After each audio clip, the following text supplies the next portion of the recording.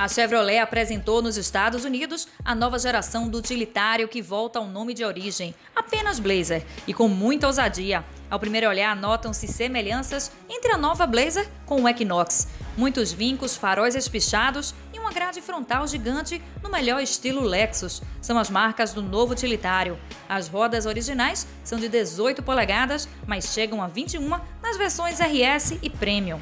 No interior, destaque para o grande teto solar panorâmico de painel duplo.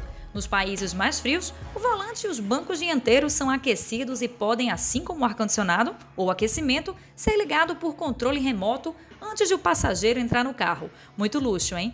Os motores disponíveis são o Ecotec 2.5 de 193 cavalos de potência e 26 kgfm de torque, e o 3.0 V6 de 305 cavalos e 37 kgfm de torque, acoplados a uma transmissão automática de 9 velocidades e tração integral AWD.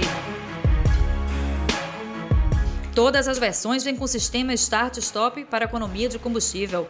A nova Chevrolet Blazer começa a ser vendida no início do próximo ano no mercado norte-americano. Aqui no Brasil ainda não há confirmação, mas fica torcida para que o modelo também chegue em 2019.